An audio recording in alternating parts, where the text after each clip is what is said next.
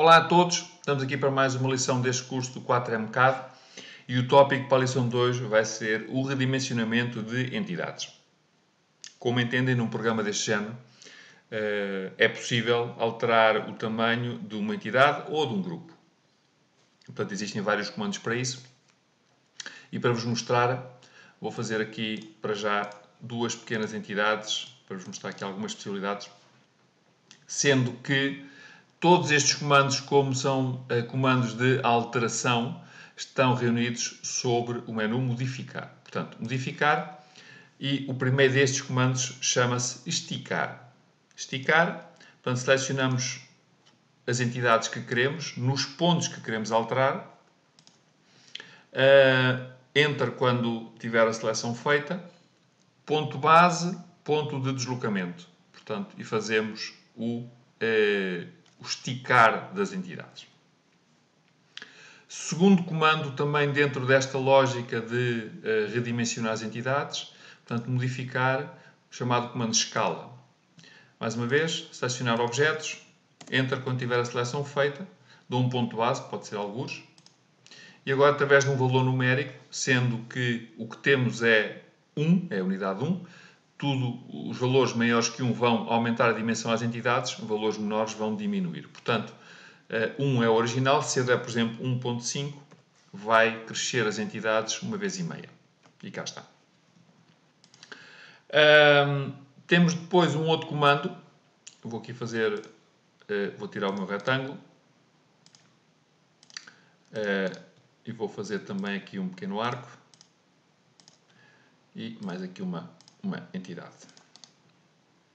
Portanto, temos aqui um comando que se chama estender e o comando estender funciona com a lógica de termos uma entidade que chamamos entidade fronteira, entidade de chegada e temos entidades uh, que queremos estender até esta. Portanto, primeiro seleciono a minha entidade limite, entidade fronteira, confirmo com Enter e agora simplesmente clico as entidades que pretendo estender até esta. Portanto, muito simples. Uh, posso fazer esta, este estender também, por exemplo, em duas entidades que não se interceptem, por exemplo. Se fizer a mesma modificar, estender, entidade fronteira, confirmar e esticar, esta é a minha entidade. Ok? Portanto, isto funciona uh, quando fazem este modificar, entidade fronteira, tem que ter esta opção aresta, tem que ter a opção como estender. Portanto, no meu caso já está, é, já está, o extend já está ativo. Um, depois temos mais aqui uma opção, esta, este comando em particular, uh, que é o comando uh, partir ou cortar, aliás, perdão, o, o, comando cortar, o comando partir é, é outra, outra opção, portanto, o comando cortar tem a ver com alterar o tamanho das entidades, mas numa lógica de cortar partes que não me interessam. Portanto, o método correto para trabalhar com este comando é simplesmente primeiro dar a entidade cortante, confirmar com Enter, e depois qualquer entidade que esteja a cruzar esta entidade cortante vai ser selecionada na parte ou do lado que queremos desaparecer. Assim. E Enter para terminar. Este é o modo correto para trabalhar com o comando. Numa perspectiva mais prática, Uh, pessoalmente costumo trabalhar com, portanto, cortar e quando vou dar as minhas entidades cortantes, eu basicamente seleciono tudo. Enter e agora simplesmente limito-me a selecionar as áreas que pretendo eliminar. Portanto, é uma maneira mais prática de trabalhar. Uh, por último, temos aqui um comando que se chama uh, alongar em inglês chama-se LinkedIn, pronto, cada vez é mais conhecido por este nome.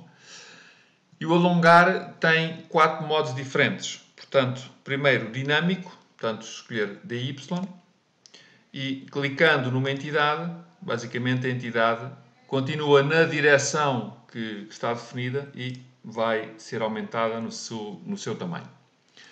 Depois temos a opção incremento, portanto, I, e vamos dizer que queremos aumentar a entidade num X número de unidades. Por exemplo, 30 unidades, selecionamos a entidade e ela aumentou em 30 unidades.